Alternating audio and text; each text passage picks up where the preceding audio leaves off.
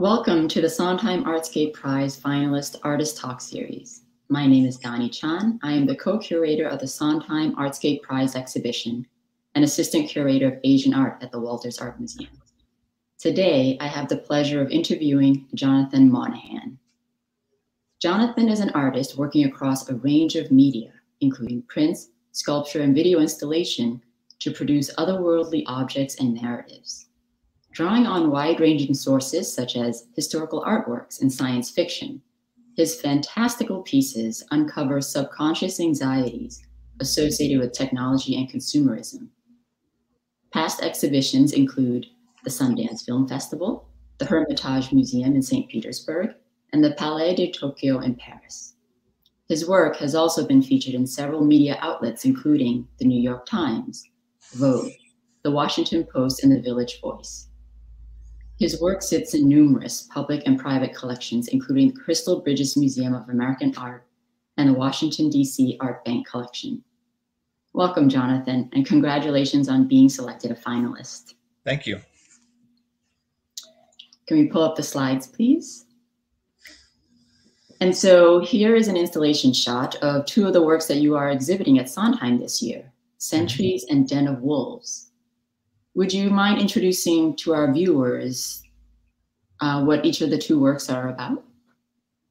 Yeah, sure. So you're looking at a work from the series Centuries, and there I have two works in the exhibition from the series.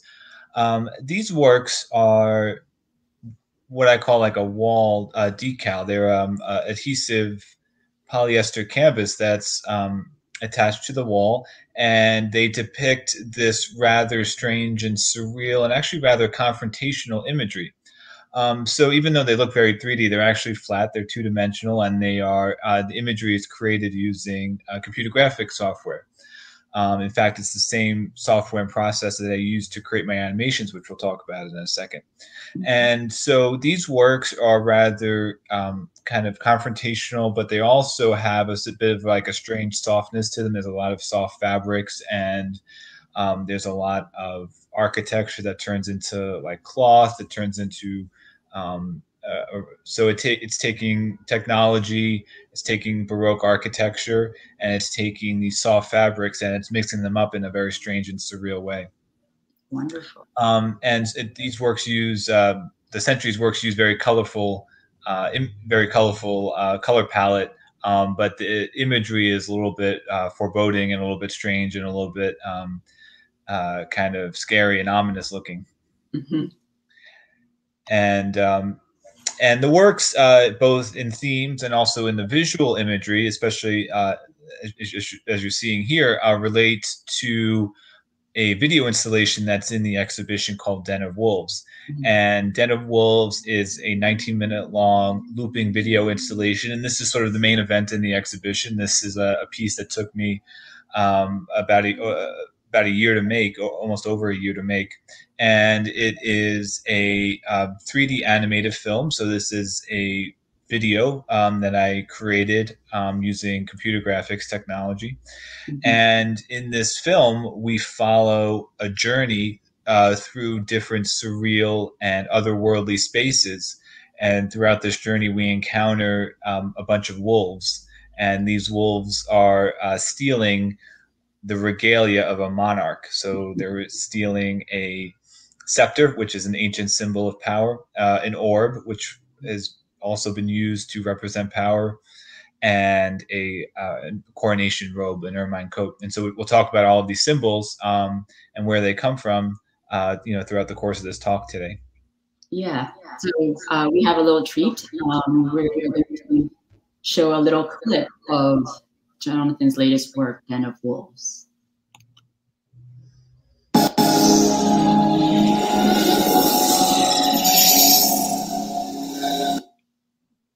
A little choppy.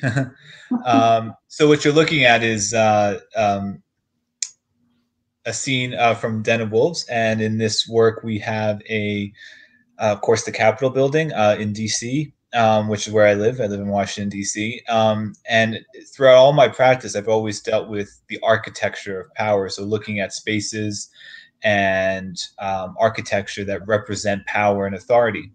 And in this case, um, with this film, uh, you know, about a year ago when I was starting to work on this film, I decided to, you know, why not use DC, which is where I live. Um, and so here we see this environment, which is a very recognizable Capitol building, but it's sort of um, gentrified in a way with this uh, Whole Foods, this organic garden uh, version, my version of Whole Foods, and then there's also later on an Apple store, and so it's um, it's a rather strange and uh, surreal take on the Capitol building, but one that speaks to certain issues in our um, in our society today with corporate power structures and uh, our reliance on consumer culture and and this and that. Um, so it's looking like we're having some trouble playing it. So, and so truly, um, you, I, I, encourage everyone to see this in person to yeah. fully capture how awesome the piece That's is. how you're supposed to see it. You're supposed to see it in person. Um, and this is great because it's been um, a while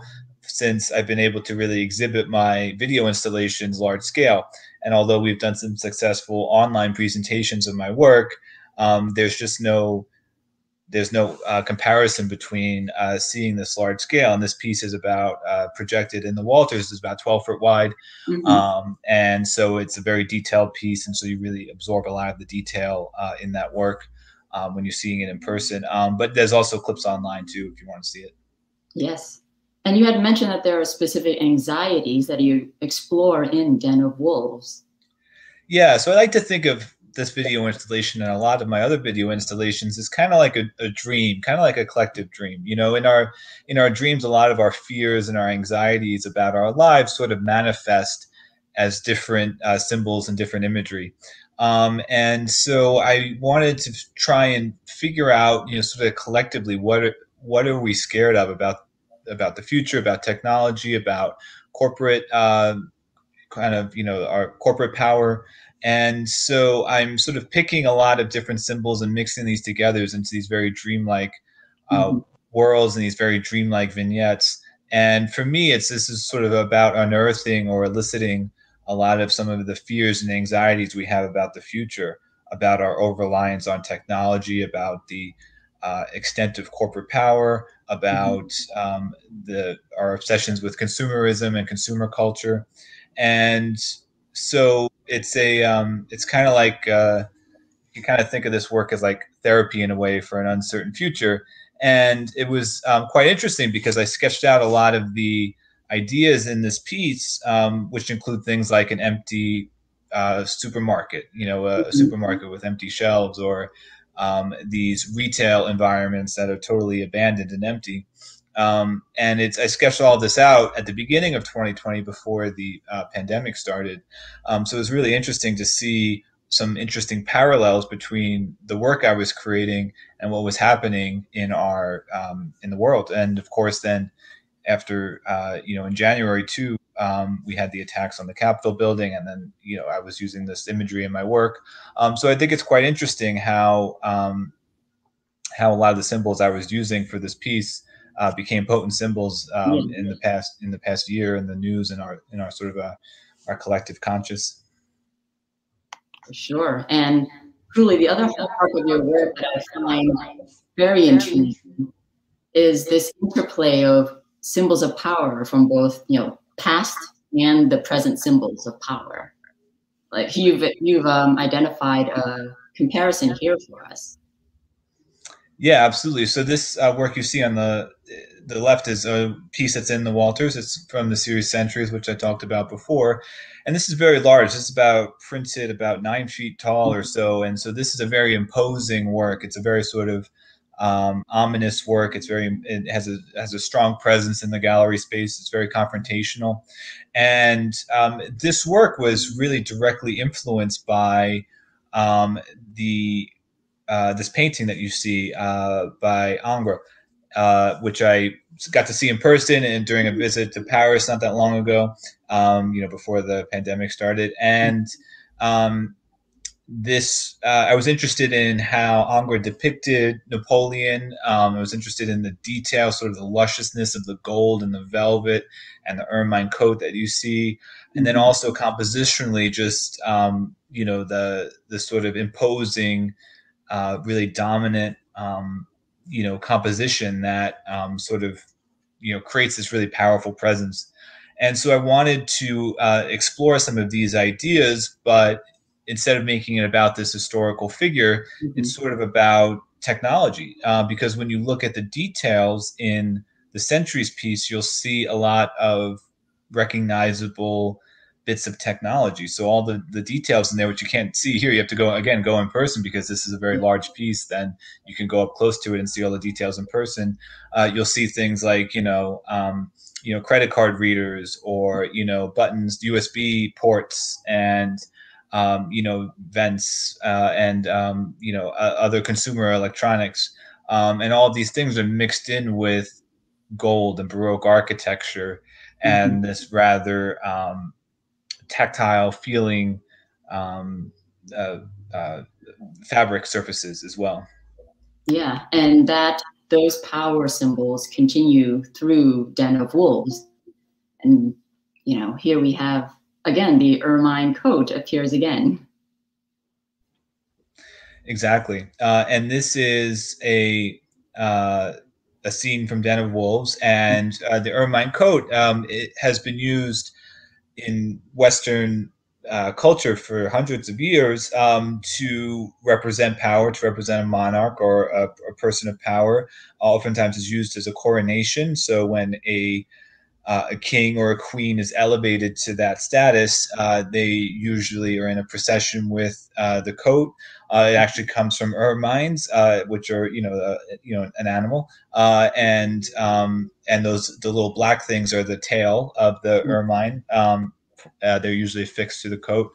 Um, and so it's it's interesting. There's a tactile quality to this um, to this idea, you know, this sort of ermine coat, this fur, this soft fur. There's this mm-hmm. tension between the natural and the synthetic because this is something that's made from, of course, um, you know, the hides of these animals, and it's um, it, it, has a, a look that's you know uh, very interesting to me, and it and so there's all these different tensions that are and symbols that are you know within this piece, and so one of the this is one of the items that we see the wolves uh, with uh, mm-hmm. in addition to uh, the scepter and the orb, which are these kinds of three main symbols of, of, of power. And so, um, and yeah, so there's, you know, you could go to the Walters and you could see uh, several examples of, of large, powerful people uh, being, um, you know, with with an ermine coat. Here, of course, you have a, a, a doge um, from uh, from Venice um, mm-hmm. uh, in in, a, in one of these coats. So, yeah, and then to continue the um, sumptuousness of the animals, both as in your story in uh, Den of Wolves, but also as luxury goods, here represented by the bejeweled Marten's head.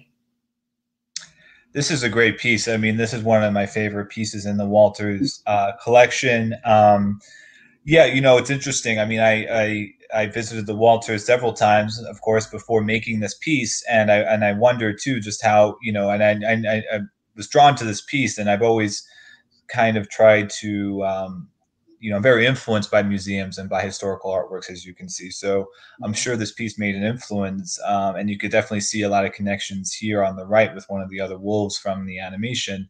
Um, but yeah, this Marten's head is just it's it's such a wild, surreal piece. Um, and uh, the idea too that this was, of course, worn. This was mm-hmm. something that was worn by uh, the aristocrats uh, in Italy, and um, and so as as a uh, like a you know like a scarf or something, you know, and um, and it, yeah, it's just it's just a wild piece. Apparently, the tongue moves too. There's like a chain to control the tongue, and um, I, yeah, so it's a it's an insane piece of jewelry. Um, but uh, I think one of the things that this touches on is the idea of excess and decadence. Mm-hmm. And this is one of the interesting, this is something that I've been, one of the reasons why I'm interested in exploring a lot of this Baroque and Rococo uh, imagery in my in my work is because, you know, we tend to think of the Baroque society as, of course, very decadent. You know, huge income inequality, a lot of, um, uh, you know, uh, it was, you know, it, it was and um, I think what I'm trying to do is draw some parallels between mm-hmm. our our society, which I think is in, is also very decadent. You know, with our our consumer technology and our our consumer culture, and and so it's in, it's in a way drawing some of these parallels between the excess and decadence of the past and the excess and decadence of our time. Truly. And can you tell us why you chose wolves for this work? Yeah, so I when I create these works, I talked a little bit about them being dreams. And it's interesting because, of course, when you look at mythology, that's often connected to the unconscious, and dreams are, of course, connected to the unconscious. And so, in the same way that a lot of fears and anxieties sort of appear in our dreams, they also appear in our mythologies. And this is uh, an important aspect of how you know mythology is um, developed, uh, I think. And you know uh, the, through the unconscious and through a lot of the, the sort of the, the deep-seated human psyche. And so uh, as somebody that frequently reinterprets or uh, remixes a lot of ancient mythologies uh, to create my work uh, wolves kept appearing and they kept appearing in association with with kings and with a position of power and authority. Um, one of the oldest ones was a greek mythology of king uh, and uh, he was turned into a wolf. Um, this was in Ovid's Metamorphosis, and he was a, a king of Arcadia, and he. Uh, this is where we get the modern werewolf uh, idea from. Uh, and here there's a, a, this great piece in the Walters, which is depicting a Russian fairy tale or myth of a firebird and a wolf, and Ivan, um, who is who is just a very sort of generic uh, character, but uh, again, when you look, read this fairy tale and this story, um, it's very much connected to uh, a king and power. There were these golden apples um, that uh, the Firebird was stealing, and then the wolf got involved. And, and it's a co- complicated fairy tale, but um, anyways, the whole point is that there's a lot of connection between aristocracy and and, the, mm-hmm. and, and, a monarchy and a king in, in this uh, narrative that's being depicted here on this um, cigar box. Um, so, and of course, there's apples too in the piece too, yeah. where this wolf that you see on the left steals um, the orb from a, uh, a basket of apples at the Whole Foods. So, um, so it's um, so the wolf keeps appearing uh, in connection with with kings and with monarchy and with power, and I'm and I'm not exactly sure why either, and I but I'm sort of exploring some of that in uh, in my work here. That's great, fascinating. And here um, we're making a comparison of the architecture that's mm-hmm. you know, very much of a feature of Byzantine and neoclassical architecture, but also lends this otherworldly aspect to the Capitol building, right? Yeah, yeah, yeah, yeah. I mean, um, when I first started sketching out this piece, I was actually doing a residency in Italy. Um, and uh, I was really interested in a lot of the ceiling frescoes and a lot of the architecture of the uh, palaces and the basilicas and the churches there, and uh, also architecture, sometimes real, sometimes imagined, that was depicted in uh, historical works from that time. Mm-hmm. And so, um, and so, yeah. So when you when you see a lot of the frescoes and when you see a lot of the artworks from that time, you see this kind of neoclassical, um, you know, Baroque architecture, um, and that you also see it in the Capitol, of course, too, because it was designed to be like that. There's of course a, great fresco on the ceiling of the Capitol building. Um, and so, um, anyways, so um, this is a great example too of just how you see a lot of that architecture come in, and it's um, it's very otherworldly, as you say, um, and that's something I'm interested in about it. And it's also um, it just there's something like innate about it that speaks to like something this like otherworldly power you know mm-hmm. and i think that's what i'm trying to get at uh, fundamentally with this work is you know trying to depict this sort of yeah this like otherworldly sense of power um and you know where is this power and authority coming from you know mm-hmm. and so uh, these drawing these connections between you know from silicon valley to you know modern corporate and, and uh, culture today um, you know this is sort of what the work is is trying to get at um, not in any specific way necessarily but you know, by sort of drawing these parallels and these associations, perhaps there could be some more critical insight into, um, you know, who we are and where we're going today. Mm-hmm. So to take a step back, this is 2021, and uh, you'll be f- in our presentation. You're featuring a work that's as old as 2010. Mm-hmm. So within that span, how has your voice evolved throughout your artistic practice? Yeah, so um, I guess I, I mean, I began making artwork, um, you know, in the same vein that what I'm doing today uh, I guess it's been um, yeah like 12 years now or so. Uh, what you're seeing here is a work from uh, well the main thing that you're seeing here is a work from 2015. Um, and so I think my practice has changed a little bit in the past year, a lot, I think, because um, again, there's been like this a much stronger um, detachment from the physicality of, of seeing a work, of exhibiting artwork. Mm-hmm. Uh, and so I have actually haven't made any sculptures recently, although sculptures are a big uh, part of my practice and always have been. Uh, so here, what you're seeing is some examples of how I use digital fabrication technologies to bring out a lot of the themes and imagery uh, and motifs from my animations and my other uh, still work uh, mm-hmm. into sculptural form. And so you're seeing here a, um, a, a, piece being carved out of Carrara marble. Mm-hmm. And uh, this is a um, you know pretty sizable sculpture made out of marble, and it was all designed initially on the computer. So I used uh, yeah, so you can kind of see the process here. Um, so I'm using um, the same software that I use to make my animations. I can sort of extract um, a lot of that data, that the some what we call a 3D model from that process, and uh, fabricate it into various physical materials such as uh, Carrara marble. Uh, and this work was based off of a painting. Uh, of which you have a sort of a, a, an imitation or a copy of uh, in the in the Walters. Um, on the left here, you see this painting by Josefina, um, and this was based off of, and she based this painting off of another painting by Francisco de Zurbarán, mm-hmm. uh, for also, you know, all from which was from the Baroque times, um, the Spanish Baroque era of painting. And um, there's a lot of like religious significance to this uh, piece, but I was quite interested in um, this idea of like a, a, sacrificial lamb and the way that it was, it was constrained and bound. Um, and so I, I sort of imagine that form, that, that animal, sort of uh, constrained in this leather like skin so mm. that it was sort of constrained or constricted within this uh, leather like skin. And so uh, it's like this tufted luxury skin that's sort of um, uh, consuming this uh, this form. So it's a bit of a dark piece, even though it looks very bright and it has these kinds of colors that are, um, or this these sort of textures that are very you know seductive and and um, you know, but it, it does have a, a you know a, that that sort of darker element to it as well. Yeah. Um, but like those original paintings too, because you can kind of go up and you can see the detail in the fur on that. So it's um, these were very interesting, uh, interesting paintings, and so this was my sort of exploration of that into sculptural form.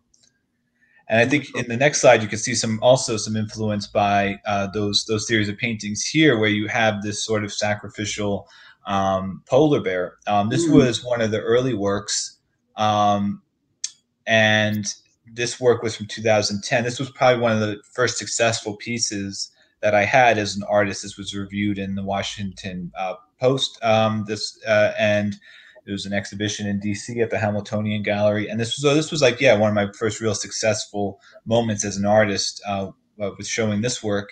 And so what you're looking at this is a, a three minute animation that shows a polar bear. Um, sort of starving to death. So it's a dark imagery, and it was based off of uh, video uh, of a polar bear starving to death, and this especially uh, back then this was a huge issue with climate change and um, uh, the, the, the polar bears um, were um, not being able to find food, and so um, I sort of took the motion uh, fr- uh, from the video, um, animated it, and created this piece. Um, although, of course, what's different, what's unique about this polar bear is that it's sort of uh, tattooed with corporate uh, uh, corporate uh, logos, specifically the Coca-Cola logo. So you have the famous Coca-Cola wave and the color uh, there. And uh, the polar bear was and is a um, an important mascot for Coca-Cola. Mm-hmm. And so these discrepancies were very interesting to me. Um, on the one hand, you have this um, terrible situation through climate change that was happening. And on the other hand, you have this, you know, polar bears enjoying drinking Coca-Cola up in the North Pole, you know? And so uh, I was exploring these discrepancies, you know, of how we experience, uh, you know, the imagery. Um, and so that's what this piece sort of came out as. And it becomes a, this ghostly image that's projected onto the wall where the rectangle from the projector is sort of hidden and obscured, and you just have this ghostly presence of mm. this uh, beast. So it's kind of like a memorial in a way. It's meant to create a little bit of empathy because it's also life size. Yeah. And it's presented to you like on the floor, so like you're, it's like you're really physically engaging with uh, the imagery, and it's also meant to, I think, raise some awareness about climate change, but also explore these discrepancies we have and how we uh, experience things through the media and through technology and sort of what that technology mediation does to how we perceive reality. Yeah. And certainly your um, exploration of the intersection between art and pop culture really does place you in a specific art lineage, I have to say. Mm-hmm. Yeah, I think a work like this uh, is very much in the lineage of pop art and uh, artists, of course, like Andy Warhol and uh, many mm-hmm. other uh, uh, artists. There's something um, that they were exploring that was very much about our consumer culture, of course, but I think it was going a little further than just you know riffing on corporate symbols and corporate logos. I think they were trying to really get at the psyche of what in American culture and society is driving this obsession with consumerism and uh, and so they you know Andy Warhol had some darker works as well, whether it was the Electric Chair series or the Car Crash series, mm. and so um, I think I'm very much interested in that lineage too, trying to drive at the psyche of of this obsession with consumer culture and um, you know planned obsolescence and the damage this is doing to our environment and you know what this technology this rapid development of technology and our obsessions with this uh, are about and like where is this coming from you know from uh, um, and so that i think was some of what i'm trying to explore and some of what i was interested in with those uh, that lineage of american pop art. Yeah.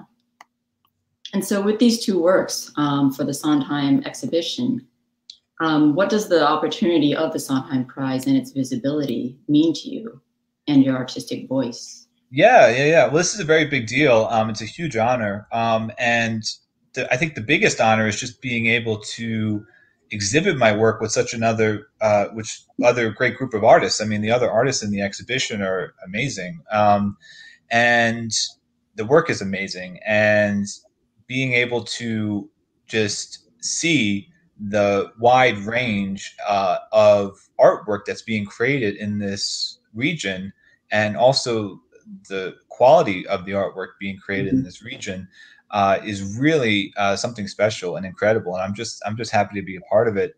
Um, and I, I, think for me that's the biggest you know gain out of this is just being a part of and being able to see um, so much incredible work that's being created and everybody's bringing in their own unique voice and their own unique background and their own unique approach and style and process and it's all on display in the exhibition and that's really good. Just the you know just the variety is really amazing to see. Um, so yeah, no, this visibility is great. It's a, a huge honor. Um, and uh, it's great to be. This is actually my the second time showing in the Walters. I had a mm-hmm. exhibition based off of the Fabergé egg, using a lot of the uh, themes and motifs and uh, that we were talking about in this artist talk here. Um, of course, that relates to the Fabergé egg, and uh, there's one of the original Fabergé eggs in the collection. Uh, so a few years ago, we did an exhibition like that. So it's great to be back here under uh, an even more uh, prominent context. Oh, we're, we're definitely very glad to have you back, Jonathan. Right. And so we have a question from the audience mm-hmm. um, by John Martinek. Um, he says, by using both contemporary and classical imagery, how does how does your work relate to us? Does it would does it necessarily relate to a certain demographic or generation?